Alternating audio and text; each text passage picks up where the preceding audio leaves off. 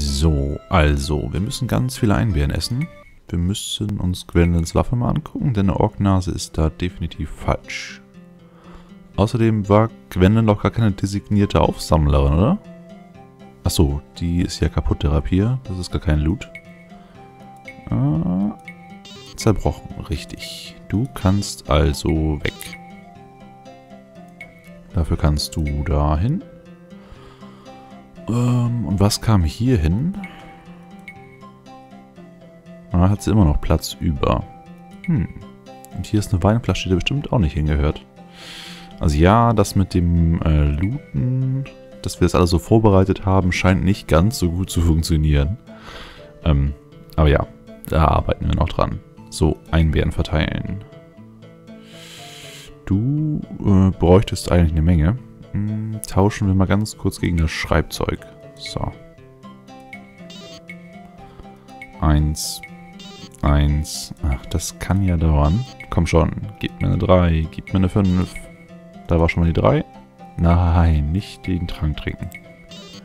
Und da war die 5. Sehr schön. Und wenn wir dann gleich alle hochgeheilt haben, dann können wir weiter das Pota plündern.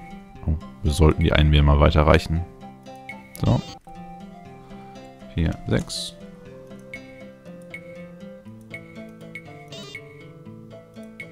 Weil wir haben ja noch so viele Gebäude hier. Ich weiß gar nicht, ob in jedem so ein äh, besonderes Event ist, wie wir bisher hatten. Aber es scheint ja so auszusehen. Also haben wir noch gut was zu tun. Oh, 34 Lebensenergie. Und Gwendolyn hat 43. Das, äh also eventuell muss ich beim Importieren in Sternenschweif mal gucken, ob ich äh, einen Durchschnittswert nehme pro Level Up und darauf das hier erhöhe. Bin ich mir noch nicht sicher. Weil so geht das echt nicht. Äh, du, die vierblättigen Einbeeren sind ja im falschen Inventar. Du, dahin.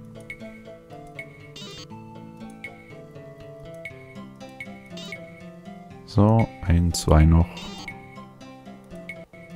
Wir wollen in der nächsten Kneipenschlägerei wieder gut ausgerüstet sein. So, das Schreibzeug. Das Schreibzeug. Dahin.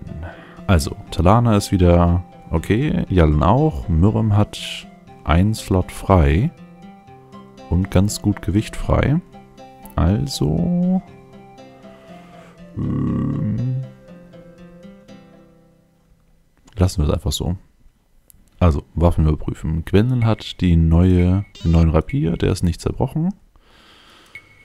Dirk hat seine Orgnase. Die Ersatz-Orgnase hat Gwendolyn, damit er mehr looten kann. Gluck, gluck. Dirk hat auch endlich seinen Alkohol bekommen. Ist sofort betrunken nach einer Flasche Wein. Das kennen wir ja gar nicht so von ihm. Und sonst sind wir soweit wieder vorbereitet. Schön, schön. Also, da waren wir, da waren wir, da waren wir, da waren wir. Gehen wir doch gleich mal als nächstes in das Haus hier gegenüber. Der Tätowierer. In einem Laden, der bis an die Decke mit Beutel, Beutestücken aus aller Herren Länder gefüllt ist, lässt sich gerade eine Frau einen Anker auf den Arm tätowieren. Der Tätowierer unterbricht seine Arbeit, als er euch kommen hört. Beute verkaufen oder ein Bildchen? fragt er über den Rücken. Als er euch sieht, stutzt er jedoch ein wenig. Ich kenne euch gar nicht. Ihr könnt uns ja kennenlernen.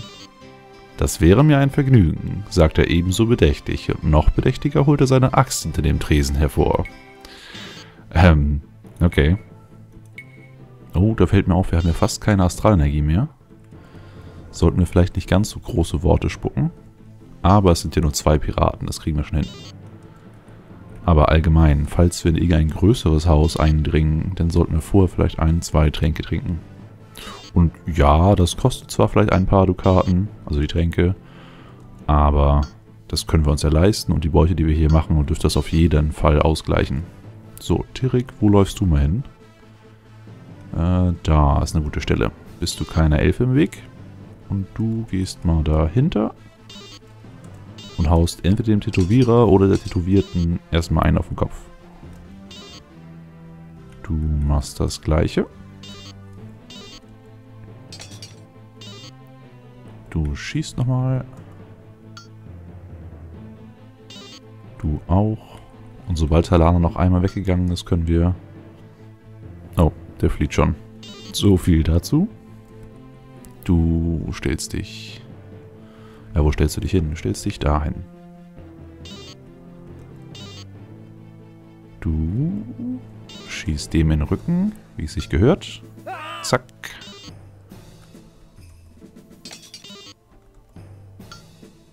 Ja, die kommen hier nicht lebend raus. Der Eingang ist bewacht von zwei Elfen und einer schlagwütigen Zauberin. So, du läufst hinterher, obwohl du nicht großartig was bewirken kannst. Du stellst dich einfach mal äh, dahin.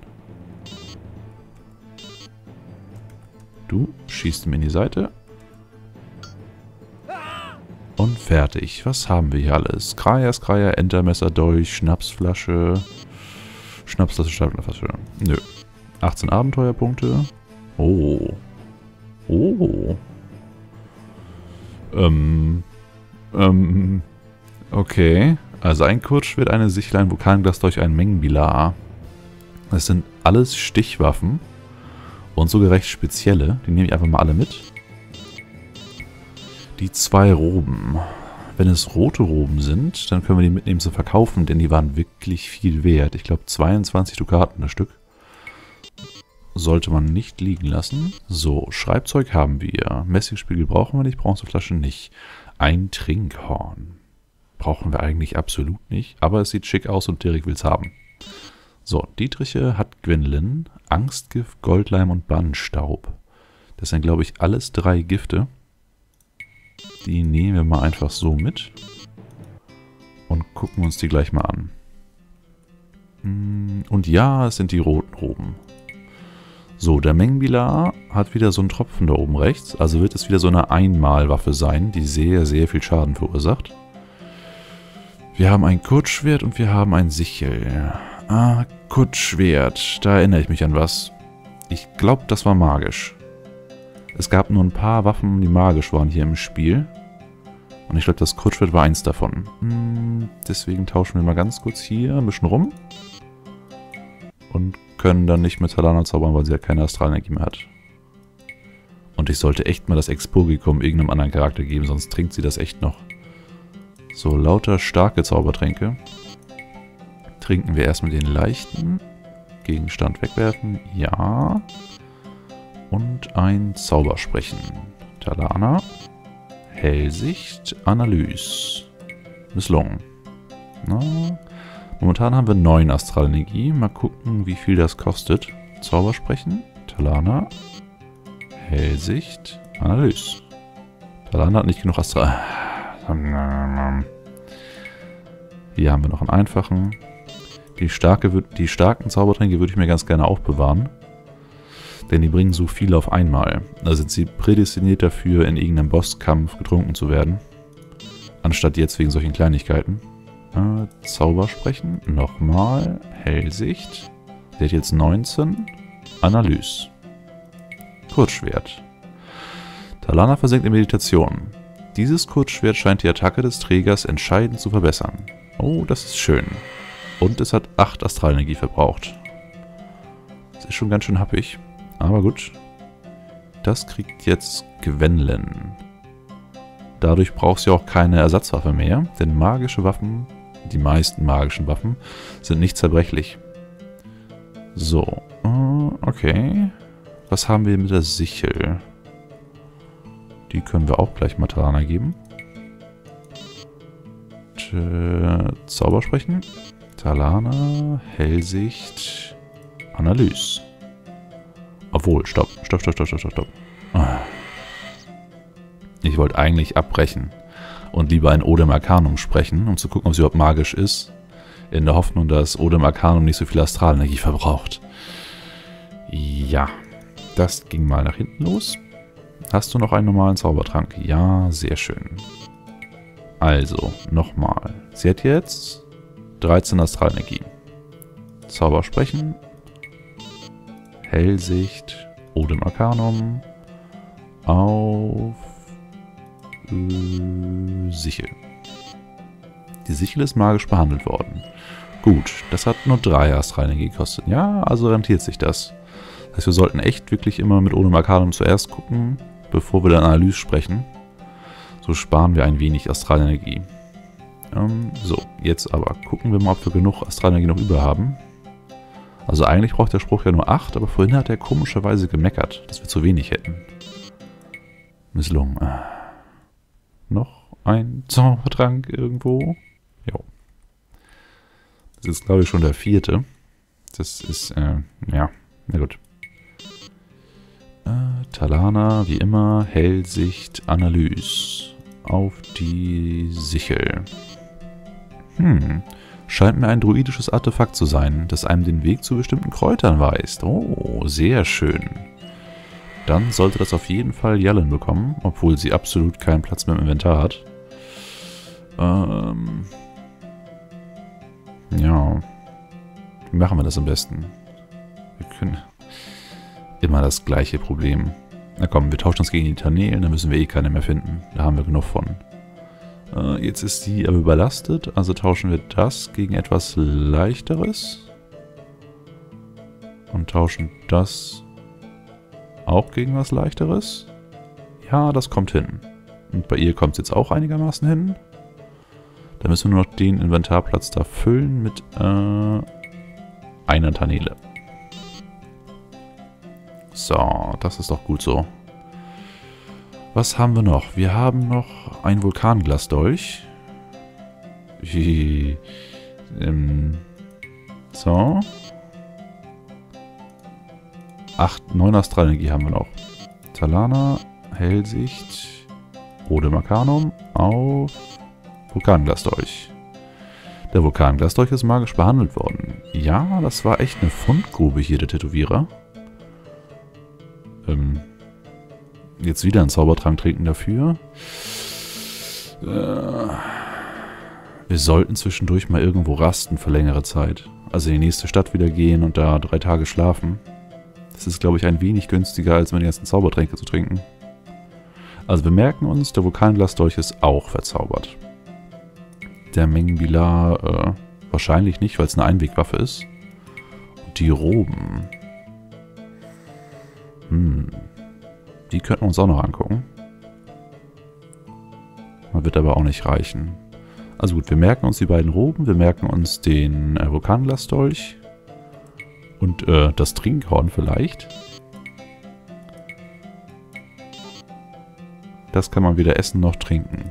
Äh, okay. Und die ganzen Gifte hat er bekommen die könnten wir eigentlich Gwendolyn geben. Wie schaut es bei ihr mit dem Gewicht aus? Das war noch tolerabel, oder? Ja, sie hat noch 27 Gewicht über. Das heißt, wir tauschen mal zwei Gifte gegen einzelne Blüten aus. So. Und jetzt tauschen wir die Blüten wieder mit jemandem aus, der die eigentlichen Blüten trägt. so. Wer hat die Wirselkräuter? So. Ja, das Inventar Micromanagement hätten wir also auch wieder geschafft. Und dann verziehen wir uns doch mal wieder nach Warnheim. Oder was war die Stadt im Süden? Ja, Warnheim. Äh, Essen und Trinken. Wir haben genug Rationen. Das heißt, wir suchen nur nach Kräutern und probieren gleich mal die Sichel aus. Vier Stunden. Vier Einblätter, zwei Wirselkräuter. Schöne Sache. Gwendolyn, geh rüber und Tirik halten Wachen und wir schlafen. So, weiterreisen.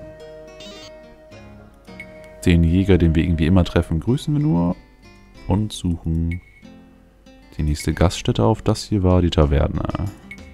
Schwert und Schiff. Obwohl. Na komm, gehen wir mal wieder einen trinken. Haben wir schon lange nicht mehr gemacht. Also sagen wir Hallo. Die Taverne ist nicht schlecht besucht. An der Theke gibt es noch einige Hocker. Wir hätten gerne eine Runde für alle.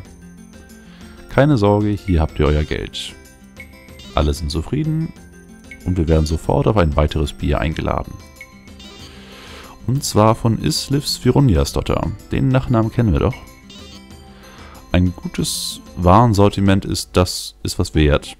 Falls ihr etwas Ausgefallenes sucht, dann sucht am besten bei diesem eingeheirateten Störebrander in Torwall. Hm, na gut. Hm, bestellen wir noch was Leckeres zu essen. Und wir hätten gerne Informationen. Aber er ist beschäftigt. Hm. Ja, und... Vielleicht wisst ihr noch etwas mehr. Kennt ihr vielleicht Eliane Windebreck? Warum will meine Gruppe das fragen? Ich gucke mal ganz kurz auf meine Liste nach einer Eliane. Ich, ich habe keine Eliane auf meiner Liste. Also keine auch durchgestrichene. Ähm, unsere Helden wissen da was, was ich nicht weiß. Also fragen wir mal nach Eliane Windebeck. Der Name sagt mir nichts, aber vielleicht kann ich euch ja anders weiterhelfen. Hm. Na gut. Vielleicht 20 Meilen von hier liegt in Richtung Aublock, abseits des Weges eine Wiese, die zum Rasten hervorragend geeignet ist. Ja, nee, danke. Wir werden nochmal eingeladen, aber eigentlich will ich etwas über... Oh, genau, über die da wissen. Also wir wurden jetzt gerade schon wieder eingeladen und diesmal kriegen wir als Hinweis, fragt bei Eliane Windebeck hier im Ort nach, wenn ihr euch für irgendetwas Spezielles interessiert. Die Gelehrte hat eigentlich zu jedem Thema etwas zu sagen. Hm. Okay, wir verlassen mal kurz die Taverne. Gwendolyn ist jetzt auch angeduselt und neun Silberlinge waren das nur und suchen gleich die nächste Taverne auf, denn ich will jetzt herausfinden, wer diese Iliane Windebeck ist. Also unsere Gruppe hat anscheinend schon von ihr gehört, sonst hätte sie nach, nicht nach denen gefragt. Ah, hier könnten wir schon mal schlafen. Hier unten vielleicht noch. Ne, ist auch eine Herberge. Na gut, dann rasten wir jetzt erstmal ordentlich. Ähm, ein Zimmer, Suite, machen wir erstmal nur einen Tag. Dann können wir nämlich mehrmals meditieren. Meditieren. 10. Schlafen. Ja. So. Jetzt gehen wir kurz in den Tempel, speichern ab und in der nächsten Folge hören wir uns dann nach dieser Frau um. Abspeichern LP 52 und bis gleich.